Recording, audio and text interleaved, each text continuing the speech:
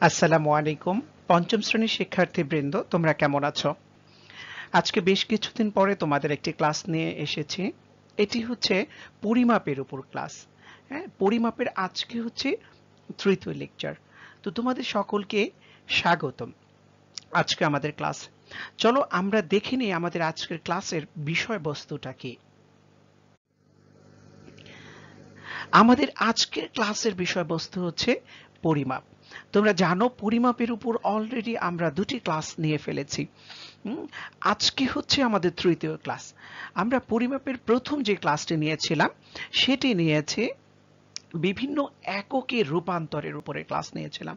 দ্বিতীয় ক্লাস গাণিতিক সমস্যার উপরে, আজকেও আমরা গাণিতিক সমস্যার উপরেই ক্লাস নেব। বাট আমরা পরবর্তী যে ক্লাসটি নেব, সেটি খুবই গুরুত্বপূর্ণ। আজকের ক্লাসটি অনেক গুরুত্বপূর্ণ। পরবর্তী ক্লাসটা হবে বিভিন্ন প্রকার সামন্তরিক আয়তক্ষেত্র, ত্রিভুজ, এদের ক্ষেত্রফল নির্ণয়ের উপরে। তো দেখো, আজকের পাঠ শেষে তোমরা যেটা শিখতে পারবে, সেটি হচ্ছে বিভিন্ন প্রকার এককের রূপান্তর সম্পর্কিত গাণিতিক সমস্যা সমাধান করতে পারবে। এই লেকচারটিও তোমাদের জন্য খুব গুরুত্বপূর্ণ। আজকে বেশ কয়েকটি গাণিতিক প্রবলেম নিয়ে লেকচারটিকে সাজিয়েছি। তোমরা দেখো, অঙ্কগুলো বুঝতে পারো কিনা। চলো, আমরা আমাদের প্রথম প্রবলেমটি একটু দেখে নেই। তো চলো, আজকে আমরা আমাদের প্রথম গাণিতিক সমস্যাটিকে সমাধান করি। দেখো, প্রথম যে গাণিতিক সমস্যাটি আছে, সেটি হচ্ছে রেজা প্রতি মিনিটে ৪৫ মিটার করে হাঁটে এবং মিনা প্রতি সেকেন্ডে আশি সেন্টিমিটার করে হাঁটে, কে দ্রুত হাঁটে। তো এখন এই প্রবলেমটি পড়ে তোমরা যেটা দেখতে পাচ্ছ, সেটি হচ্ছে রেজা প্রতি মিনিটে হাঁটে ৪৫ মিটার। অর্থাৎ রেজার ক্ষেত্রে যে সময়ের একক আছে, সেটি হচ্ছে মিনিট। এবং দৈর্ঘ্যের যে এককটি আছে, সেটি আছে মিটারে। অর্থাৎ রেজার ক্ষেত্রে তোমাদের যেটা মাথায় রাখতে হবে, সেটি হচ্ছে সময়ের একক আছে মিনিটে এবং দৈর্ঘ্যের একক আছে মিটারে। অপরদিকে দেখো মিনার ক্ষেত্রে সময়ের একক আছে সেকেন্ডে এবং দৈর্ঘ্যের একক আছে মিটারে। তোমরা যে কোনো সমস্যার সমাধান করতে হলে তোমাদেরকে একককে একটি ইউনিক প্ল্যাটফর্মে অর্থাৎ একই ধরনের এককে এনে কাজ করতে হবে। এখানে আমরা যেটা করব, সেটা হচ্ছে মিনিটকে সেকেন্ডে নেব, অর্থাৎ রেজার যে মিনিট আছে, সময়ের একক, সেই এককটিকে আমরা সেকেন্ড এককে নিয়ে যাব এবং রেজার ক্ষেত্রে যে দৈর্ঘ্যের একক আছে মিটারে, সে মিটার একককে আমরা সেন্টিমিটার এককে নেব। তো চলো আমরা কাজ শুরু করি। দেখো, তোমরা জানো, এটি হচ্ছে আমাদের বেসিক একটি ইনফরমেশন যেটি আমাদের এক একক থেকে আর এক এককে গেলে আমরা এই কাজটি করব। গত দুটি লেকচারের উপর আমরা এটি নিয়ে কাজ করেছি। আজকেও ইনশাল্লাহ আমরা এর উপরে কাজ করব। তো এখানে যেটি করতে হবে সেটি হচ্ছে দেখো, মিটার একক থেকে সেন্টিমিটার এককে যেতে হবে। তো মিটার একক থেকে যদি তোমরা সেন্টিমিটার এককে যাও, তাহলে তোমরা অবশ্যই জানো যে মিটার একক হচ্ছে এখানে বড়, সেন্টিমিটার একক হচ্ছে ছোট। তো বড় একক থেকে যদি তোমরা ছোট এককে যাও, সেক্ষেত্রে তোমাদের অবশ্যই কি করতে হবে বলতো গুণ করতে হবে। বিষয়টি মনে থাকার কথা, বড় একক থেকে ছোট এককে গেলে গুণ করতে হয়। অপর দিকে তোমরা যদি ছোট একক থেকে বড় এককে যাও, সেক্ষেত্রে কিন্তু তোমাদেরকে ভাগ করতে হবে। তাহলে এবার যেহেতু আমরা বড় থেকে ছোটতে যাচ্ছি, আমরা কি করব এখন? গুণ করব। এখন আমরা পঁয়তাল্লিশ মিটারকে সেন্টিমিটার প্রকাশ করব। যেহেতু রেজা প্রতি মিনিটে পঁয়তাল্লিশ মিটার যায়, এই পঁয়তাল্লিশ মিটারে কত সেন্টিমিটার হয় আমরা সেটি বের করব। চলো আমরা কাজটি করি। আমরা জানি এক মিটার সমান, দেখো, এক মিটার সমান আমাদের যে বেসিক ইনফরমেশনটা ছিল, সেটি হচ্ছে আমরা কোথা থেকে কোথায় যাচ্ছি, এটি আমাদের একটু মাথায় রাখতে হবে। দেখো, আমরা কিন্তু এই মিটার একক থেকে সেন্টিমিটার এককে যাব। তো এই মিটার এককের প্রথমে আমরা কি নিয়ে আসলাম? একটাকে নিয়ে আসলাম। এটি তোমাদের মনে থাকার কথা। হ্যাঁ এখন আমরা কি করব? এই ডেসির জিরোকে নেব এবং সেন্টের জিরোকে নেব। এটা মনে আছে নিশ্চয়ই তোমাদের। চলো আমরা ডেসির জিরোকে নিয়ে আসি। তো ডেসির জিরোকে নিয়ে আসলাম। এখন আমরা সেন্টির জিরোকে নিয়ে আসি। তো সেন্টির জিরোকে নিয়ে আসলাম। দেখলাম এক মিটার সমান হয়ে গেল কত? একশো সেন্টিমিটার। তো এটা কিন্তু আমরা জানি, এটি তোমাদের মুখস্থ আছে। তারপর আমরা এই ফরম্যাটটা ব্যবহার করব যাতে আমাদের অঙ্ক বুঝতে কখনোই সমস্যা না হয়। তো আমাদের কিন্তু মূল কাজ হচ্ছে পঁয়তাল্লিশ মিটারে কত কত সেন্টিমিটার সেটি বের করা। তো চলো পঁয়তাল্লিশ সেন্টিমিটারে কত মিটার সেন্টিমিটার সেটি আমরা বের করব। তো এখন এটি হচ্ছে এক মিটারে যদি একশো সেন্টিমিটার যায়, পঁয়তাল্লিশ মিটার অবশ্যই বেশি যাবে, সেক্ষেত্রে কি হবে? পঁয়তাল্লিশের সাথে কিন্তু একশো গুণ হয়ে যাবে। তারপরে এটি সেন্টিমিটার হয়ে যাবে। এখন পঁয়তাল্লিশ সাথে যদি একশো গুণ করি, এই গুণটা কিন্তু তোমরা মুখে মুখে করতে পারো। কীভাবে করতে পারো দেখো?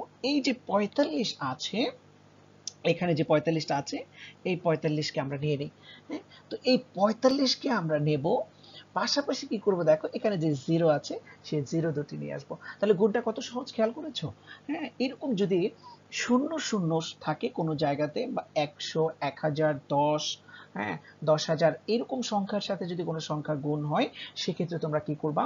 এই যে এখানে যেই সংখ্যাটা থাকবে, অর্থাৎ এখানে যে পঁয়তাল্লিশ আছে, এই পঁয়তাল্লিশকে নামাবা এখানে পঁয়তাল্লিশ ছাড়া যদি অন্য কোনো সংখ্যা থাকতো, সেটি নামাতাম। পাশাপাশি যে কটা শূন্য থাকে, তা নামিয়ে দিলে কিন্তু উত্তর হয়ে যায়।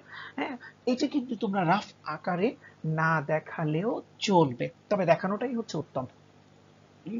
দেখো আমরা এটি রাফ একে নিয়ে আসছি, এটা আমরা পরে রাফে দেখাবো। তো তোমরা এখন রেজা পঁয়তাল্লিশ রেজা প্রতি, অর্থাৎ এক মিনিটে কিন্তু পঁয়তাল্লিশশো সেন্টিমিটার যায়। আমরা এটি বের করে ফেললাম। তাহলে এক মিনিটে বলো তো কত সেকেন্ড? ষাট সেকেন্ড। তাহলে রেজা, এক মিনিটে যেহেতু পঁয়তাল্লিশশো সেন্টিমিটার যায়, অবশ্যই তাহলে ষাট সেকেন্ডে কতটুকু যাবে? পঁয়তাল্লিশশো সেন্টিমিটার যাবে। তাহলে রেজা, ষাট সেকেন্ডে যদি পঁয়তাল্লিশশো সেন্টিমিটার যায়, তাহলে এক সেকেন্ডে কত যায় সেটাও বের করা লাগবে।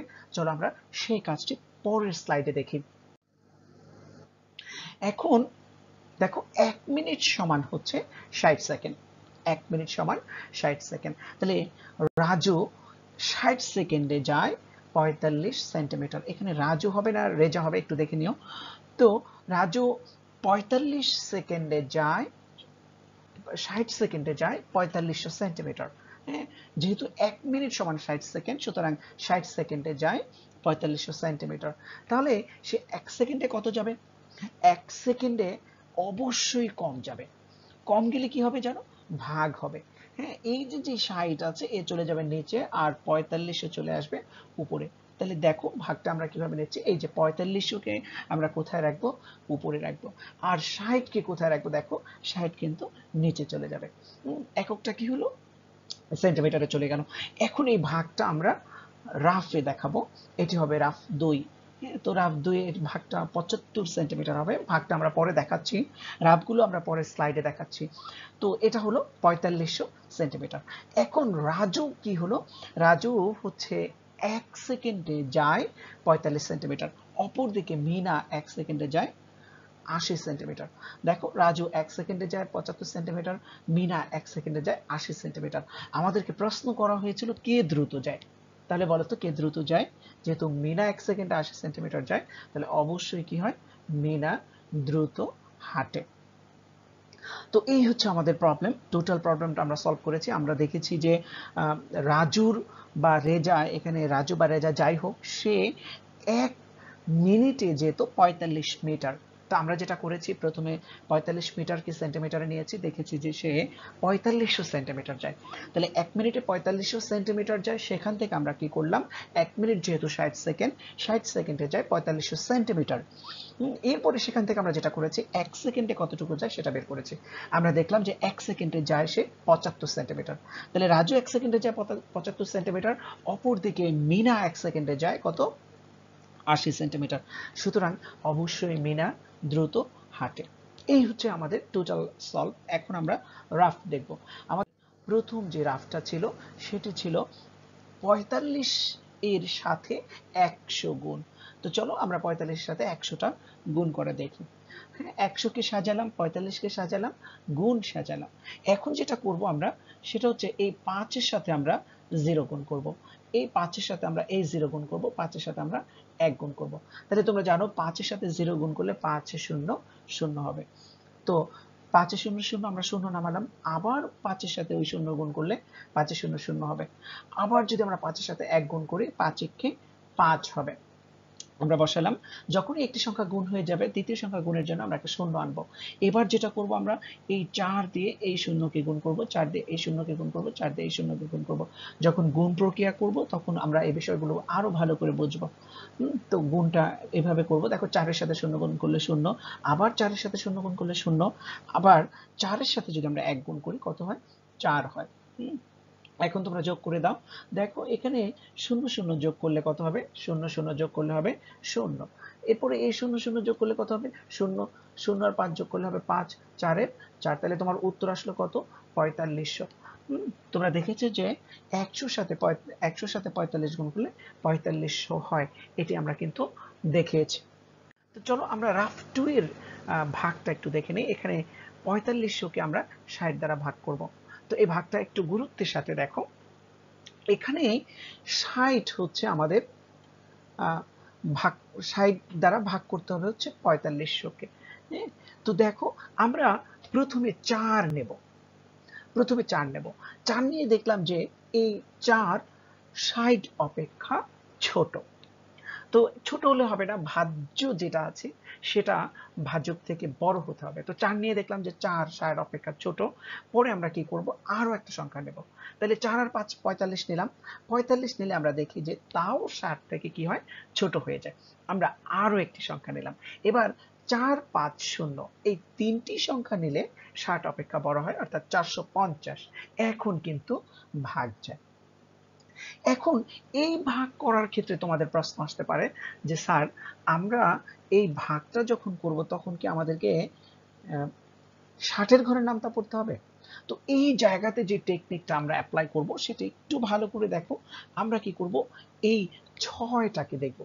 দেখো, এই ছয় দিয়ে প্রথম যে দুইটা সংখ্যা আছে এখানে হ্যাঁ দেখো প্রথম যে দুইটা সংখ্যা আছে পঁয়তাল্লিশ এর ভেতরে ছয় কতবার যায় সেটি লক্ষ্য করব। সেটি যখন আমরা লক্ষ্য করব তখনই আমরা এই ভাগটি করতে পারব। দেখো ছয় পঁয়তাল্লিশের মধ্যে মোট সাতবার যায়। ছয় সাতা বিয়াল্লিশ। তাহলে ছয় পঁয়তাল্লিশের মধ্যে যদি সাতবার যায় তাহলে বুঝতে হবে ষাট চারশো পঞ্চাশের মধ্যে সাতবার যাবে। বিষয়টাকে আমি তোমাদের বোঝাতে পেরেছি। যখন বড় একটি সংখ্যা দিয়ে হ্যাঁ, অন্য একটি সংখ্যাকে ভাগ করতে হবে, তখন ওই বড় সংখ্যার নামটা কিন্তু আমরা পড়তে পারব না। তখন আমরা কি করব? বড় সংখ্যার মধ্যে প্রথম সংখ্যাটাকে নেব। অর্থাৎ যে, এখানে যে ষাট আছে, এই ষাটের আমরা ছয়কে নেব। ছয় নিয়ে আমরা দেখব যে প্রথম সংখ্যাটার মধ্যে বা প্রথম দুইটা সংখ্যার মধ্যে কত ভাগ যায় কতবার যায়। তো প্রথম দুইটা সংখ্যার মধ্যে আমরা দেখলাম যে সাতবার যায়, তার মানে বোঝা যাচ্ছে এই ষাট চারশো পঞ্চাশের মধ্যে সাতবার যাবে। তো আমরা ষাটকে যদি নিয়ে আসি, আর এই ষাটকে যদি আমরা সাতবার গুণ দিই, তাহলে একটু কত হয়? আমরা একটু দেখে নিই। দেখো, সাতে শূন্য শূন্য আর ছয় সাতা বিয়াল্লিশ, অর্থাৎ চারশো বিশ হয়। হম? ষাট সাতবার যাবে, চারশো পঞ্চাশের মধ্যে হবে চারশো বিশ।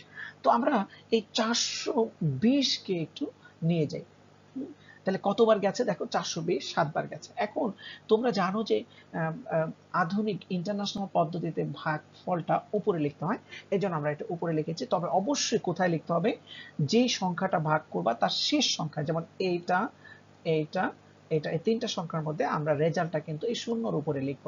হ্যাঁ এখানে বা এখানে বা এখানে লেখা যাবে না। এই সর্বশেষ সংখ্যার উপরে তোমাদের ভাগফলটা লিখতে হবে।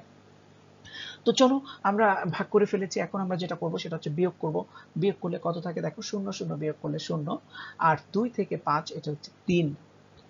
তাহলে বিয়োগফল হচ্ছে তিরিশ। এখন এই তিরিশ যেহেতু বিয়োগফল, আমরা একটি শূন্য আছে, সেটিকে নিয়ে আসলাম। তো এর মধ্যে এই, এখন একটু খেয়াল করে দেখো, তিনশো। এই তিনশোর মধ্যে ষাট কয়বার যায়? তো তোমরা যেটা করবা সেটা ওই যে আবার প্রথমে ছয় নাও। ছয় তিরিশের মধ্যে কয়বার যায়? তাহলে তোমরা যদি ছয়ের নামটা পড়ো, পাঁচ, ছয়, তিরিশ। তাহলে কয়বার গেল? পাঁচবার গেল। এখন কিন্তু আমরা পাঁচবার দিলে এটা কত হয়ে যাবে? তিনশো হয়ে যাবে। এটি আর আমি ক্যালকুলেশন করে দেখালাম না, নিশ্চয়ই তোমরা বুঝতে পেরেছ যে আমি কি বলতে চেয়েছি। তো আমরা যদি এরকম বড় সংখ্যাকে আমরা ভাগ করি ভাজক যখন বড় হয়ে যায়, আর ভাজ্য যদি বড় হয়ে যায়, তখন আমরা কি করব?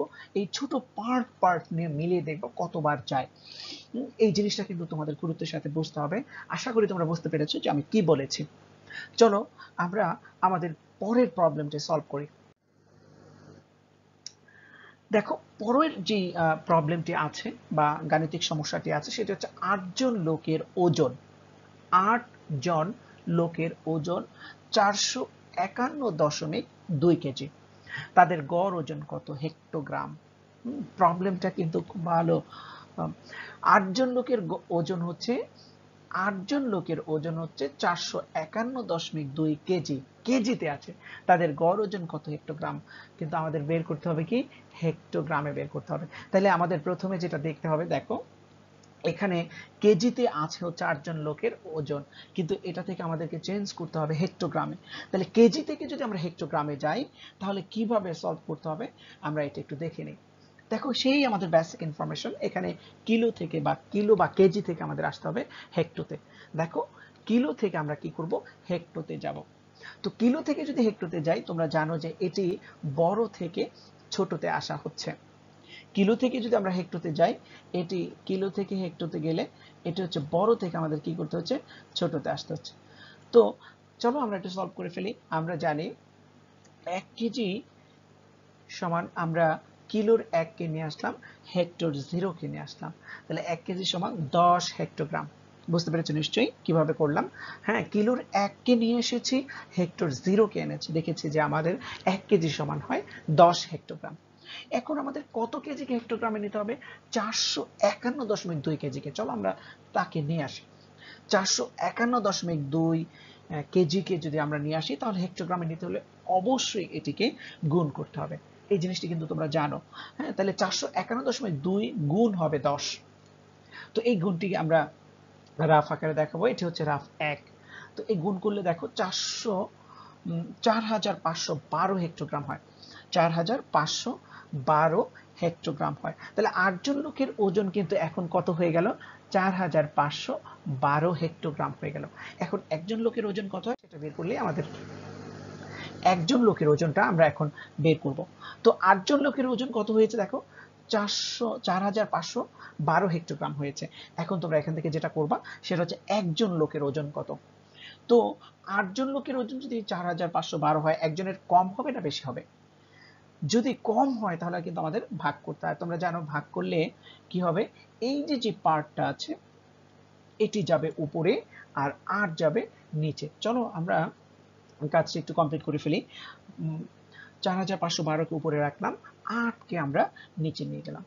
তো আমরা এই ভাগটা করব, এটি রাফ দুইয়ে হবে ভাগটা। এই ভাগটা রাফ দুই হবে, যেটা আমরা পরে দেখব।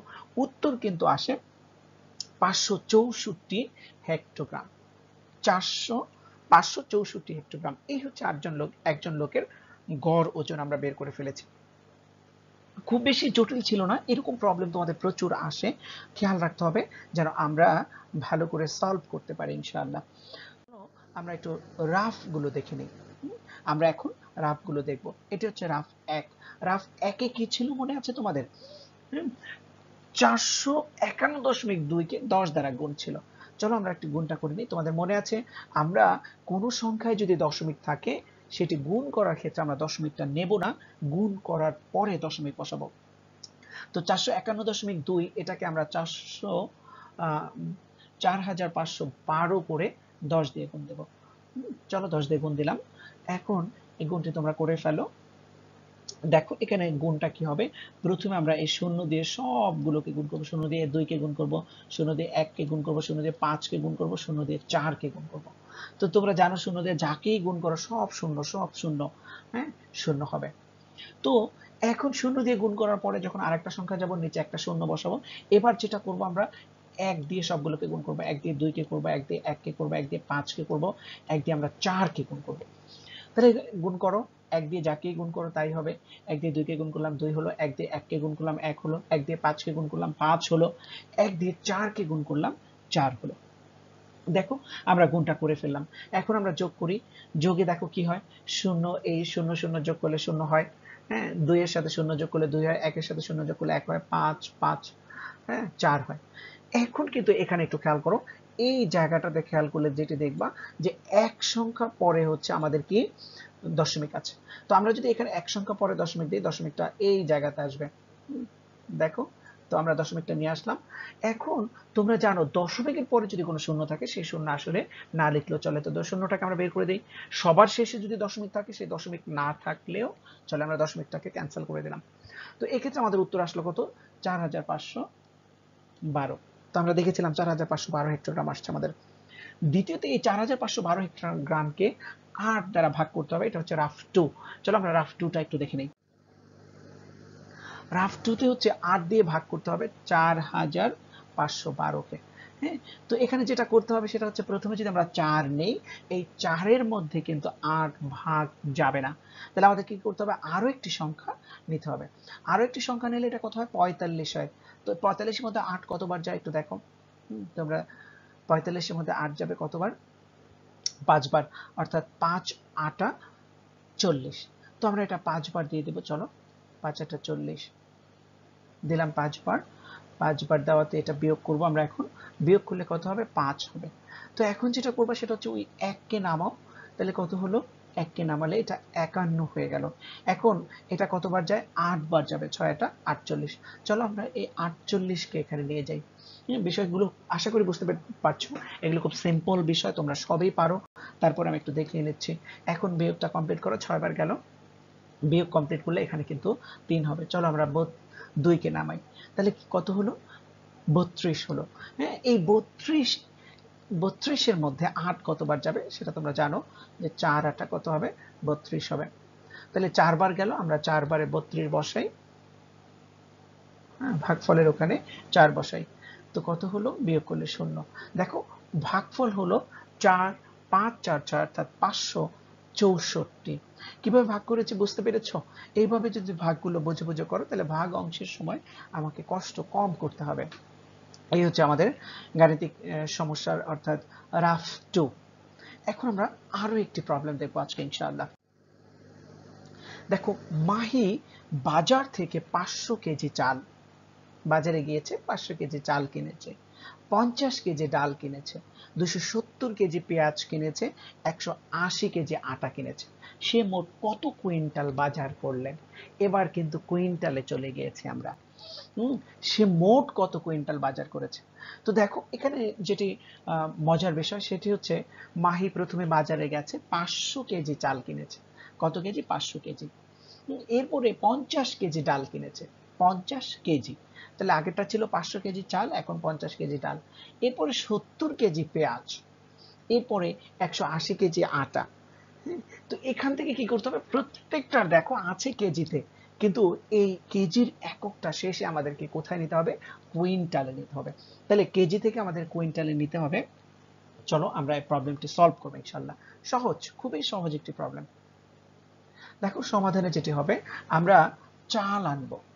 প্রথমে আমরা চাল আনব। বলো তো, চাল কত কেজি ছিল? হ্যাঁ চাল ছিল কিন্তু পাঁচশো কেজি। আমরা সমস্ত যে মাহি যত বাজার করেছে, সব বাজারগুলোকে এখন যোগ করব। এরপরে দেখো, ডাল।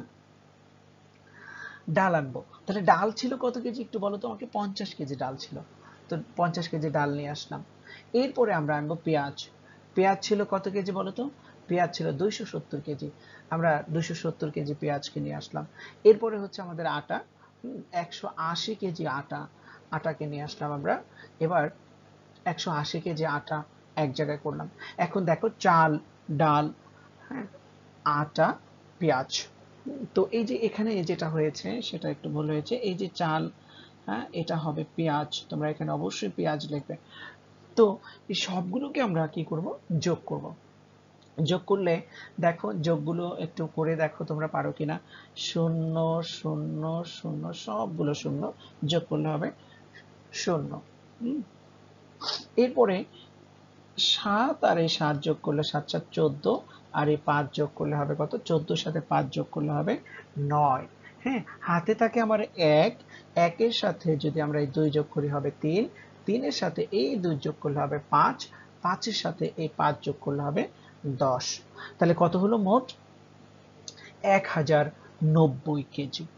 তাহলে মাহি কিন্তু কেজি হিসেবে মোট বাজার করেছে এক হাজার নব্বই কেজি। এখন এই এক হাজার নব্বই কেজিকে আমাদেরকে কুইন্টালে নিয়ে যেতে হবে। চলো আমরা পরের স্লাইডে কুইন্টালটা একটু দেখে নিই। আমরা জানি একশো কেজি সমান হচ্ছে এক কুইন্টাল। একশো কেজি সমান হচ্ছে এক কুইন্টাল। তো একশো কেজি যদি এক কুইন্টাল হয়, তাহলে এখান থেকে আমাদের এক হাজার নব্বই কেজি সমান কত কুইন্টাল? সেটা বের করতে হবে। তাহলে চলো আমরা এক হাজার নব্বই কেজিতে কত কুইন্টাল একটু দেখে নিই।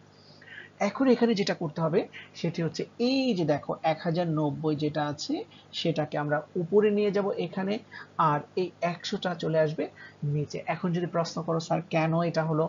তোমরা জানো, একশো কেজিতে এক এক কুইন্টাল। তাহলে এক হাজার কেজিতে কত কুইন্টাল হবে? এই জন্য বড় সংখ্যাটাকে আমরা ছোটটা দিয়ে ভাগ করব। এখানে আরও একটা লাইন করলে ভালো হতো। মাঝে এক কেজিতে কত হয় সেটি করলে ভালো হতো। আশা করি তোমরা এটি সরাসরি বুঝতে পারবে। তো এক হাজার নব্বইকে আমরা নিয়ে গেলাম উপরে। এরপরে যেটা আমরা করব, একশোকে নিয়ে গেলাম আমরা নিচে।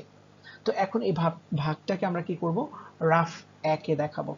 উত্তর হলো আমাদের দশ দশমিক নয় কুইন্টাল, অর্থাৎ মাহি টোটাল বাজার করেছে দশ দশমিক নয় কুইন্টাল। চলো আমরা একটু রাফটা দেখে নেই। একশো ভাগ হবে এক হাজার নব্বই। এখানে খুব চমৎকার একটি বিষয় আছে এই ভাগটার মধ্যে। আশা করি তোমরা এই ভাগটি একটু গুরুত্বের সাথে দেখো। দেখো, আমরা একশো দিয়ে যেহেতু ভাগ করব, প্রথমে আমরা এক নিলাম। তাহলে একশো থেকে এক ছোট, তোমরা এই ছোটগুলো ছোটটাকে নিতে পারবে না। তখন কি করবা? আরও একটি সংখ্যা নেবা। দেখো, এবার হলো দশ। নিশ্চয়ই দশ ও একশো থেকে ছোট। সুতরাং ভাগ যায় না, আমরা আরও একটি সংখ্যা নিলাম। এবার কত হয়ে গেল বলো তো? এবার কিন্তু হয়েছে কত? একশো নয়। এটি কিন্তু একশো থেকে বড়, এবার এই ভাগটি যাবে। তো যাওয়া কত দিয়ে যাবে? নিশ্চয়ই এক দিয়ে যাবে, এটি তোমরা জানো। ছোট ভাগ, এক দিয়ে গেলে একশো হয়। বিয়োগ করলাম, বিয়োগ করলে নয় আসে।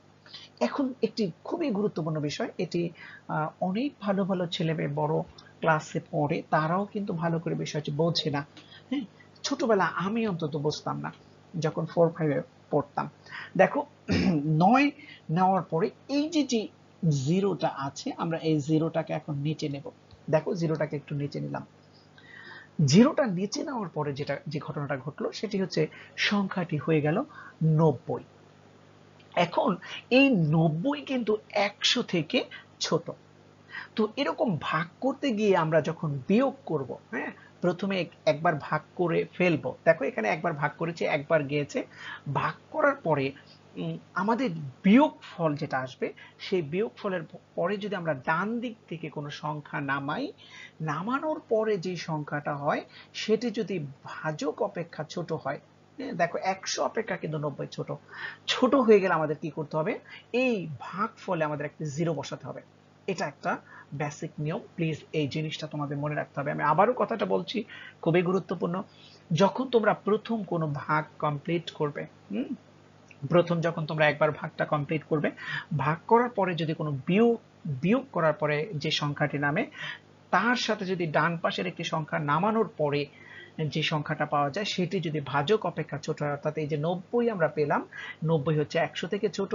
এই ছোট হয়ে গেলে একটি সংখ্যা নামানোর পরে যদি ছোট হয়, তখন আমাদের একটি শূন্য বসাতে হবে ভাগফলে। এখন ভাগফলে যেহেতু একটি শূন্য নামিয়েছি, এখন যেটা আমরা করব, এখন এই নব্বইয়ের মধ্যে যেহেতু ভাগ যায় না, আমরা কি করব, একটি দশমিক আনব। দশমিক এখানে এখানে একটি শূন্য আনব।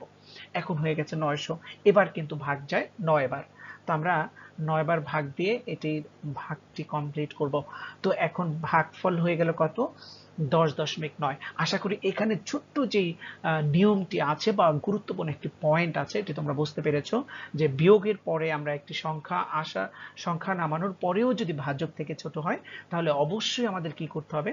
একটি শূন্য বসাতে হবে। ভাগফলের সাথে শূন্য বসানোর পরে আমরা দশমিক বসিয়ে আবার শূন্য এনে আমরা এই প্রবলেমটাকে সলভ করতে হবে তো আমাদের উত্তর হয়ে গেছে, সেটি হচ্ছে দশ দশমিক নয়।